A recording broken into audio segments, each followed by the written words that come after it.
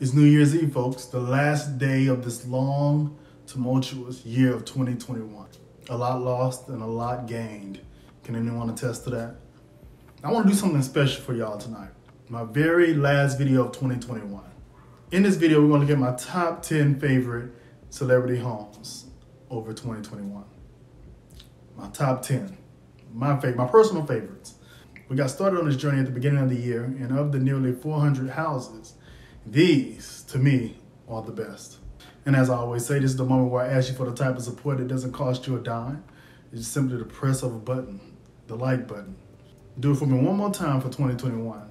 And subscribe if you haven't, so you can join me on this journey. I'll be right back with my top 10 celebrity houses for 2021.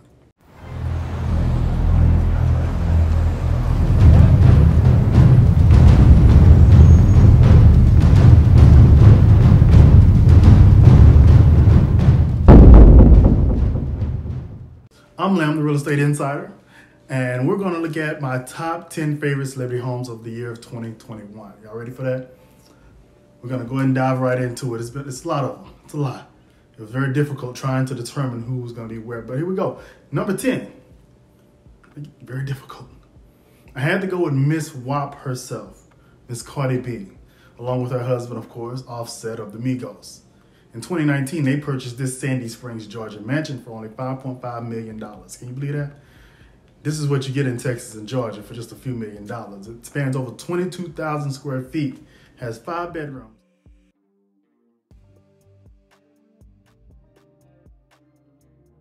Number nine.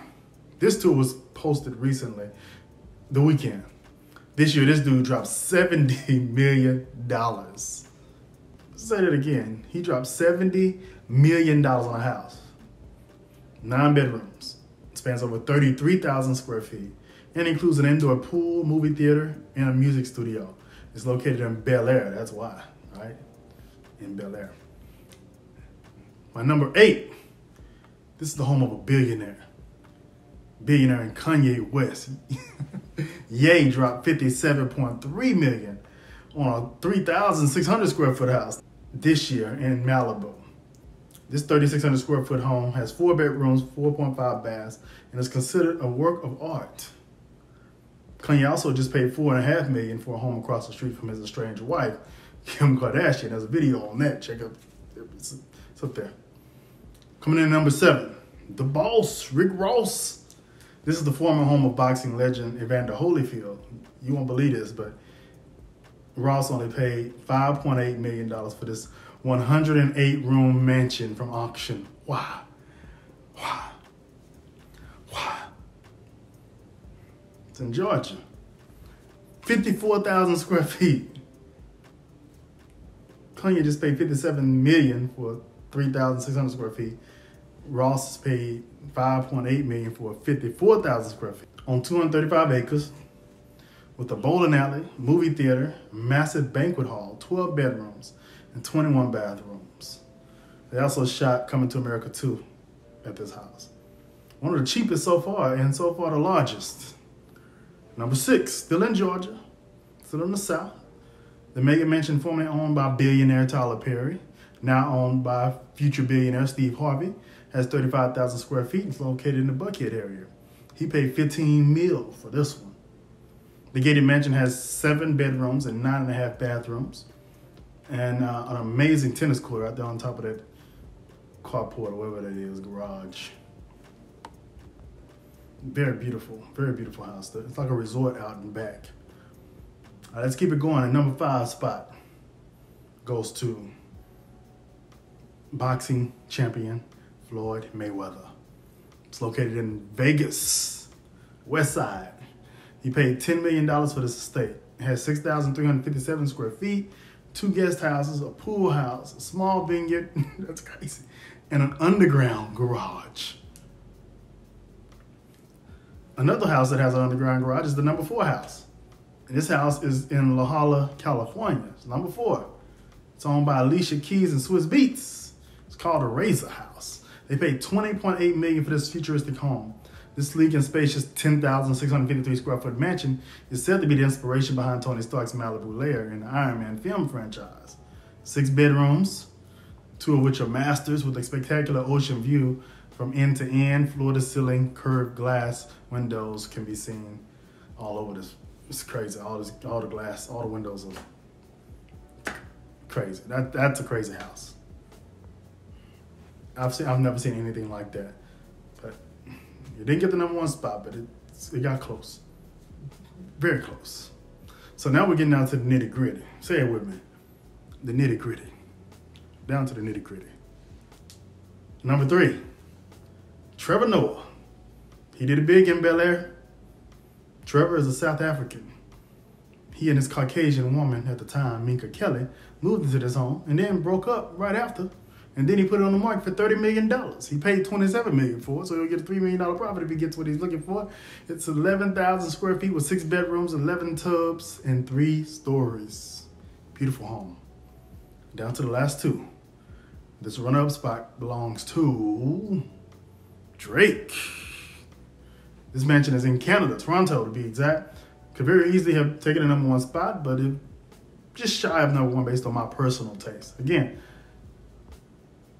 a reminder, as I have to do with some of the regular tours, this is based on my personal taste. It may be different from some of you, but it's my personal taste. I love his house though. It's 50,000 damn square feet, like a school. Has a full-size indoor basketball court. The master bedroom is about the size of Kanye's whole Malibu house at 3,200 square feet. This work of art is worth $100 million and our number one spot. Y'all ready for this? My favorite celebrity mansion of 2021. Some of y'all probably guessed it already. Don't hate. Don't hate at all. But I got to go with this Bel Air home owned by billionaires, the king and queen, and Beyonce and Jay Z. I'm just look at the house. The pictures don't do it justice. There's just so many layers to this house. So many levels, so many layers, so many floors to this home that you can't even see because they're underground. The windows are bulletproof. It's 30,000 square feet. There's four pools on different levels. There's a helipad, eight bedrooms, 11 bathrooms, a 15 car garage, some underground, and much more. And the best views in all of LA. You can't do much better than that. That's my choice. They paid 88 million for this home. It's one. It's my. I think it's one of my favorite. Based on this list, is my favorite from 2021. But as far as houses in the world, this this one takes the cake to me. But I want to hear what you think too. I want to know what your choice is. Do you agree with that choice? Do you agree with these choices? Which ones do you disagree with? Who would you put as your top three? Put your responses in the comments below, and I might shout you out in a future video. Matter of fact, your top three or just your top number one of all the videos I've done, not even the ones I talked about here. Put in the comments whose house you like the best. My insiders. I can't tell you how truly I gotta get serious. I'm taking shades off. Get serious. I wanna, I wanna speak directly to y'all. My insiders. I can't tell you how much I truly appreciate you for supporting me on this long, long journey. I started this in 2021. I haven't been here long, and as of, of New Year's Eve 2021, we're at 14,664 subscribers. That deserves a hand clap. And over 2.7 million views. That deserves a hand clap. A lot of success in a short amount of time, and I couldn't have done it without you guys supporting, and I really, I truly appreciate it. I appreciate the big supporters, the ones that that uh, interact with me in the comments, the negative comments. It just makes me better. I appreciate those too. I'm not going to delete them. I like them. Bring any comment. Just be honest. Tell me what you think. If you feel like I did something wrong, great.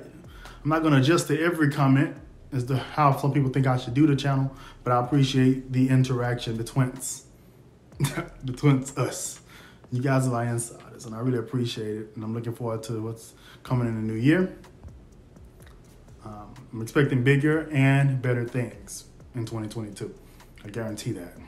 Again, thanks for supporting me, letting me be me. I'll see you in 2022. I'm Lam, the Real Estate Insider. Peace out. Where are you? Where are you? Where are you?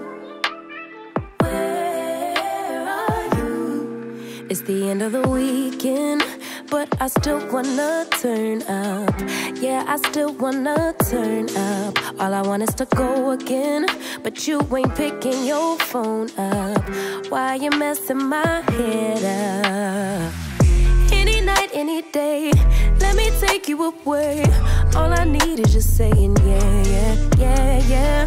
Better nights, better days when you're here with me, babe. Cause you're all that I crave, so I wonder.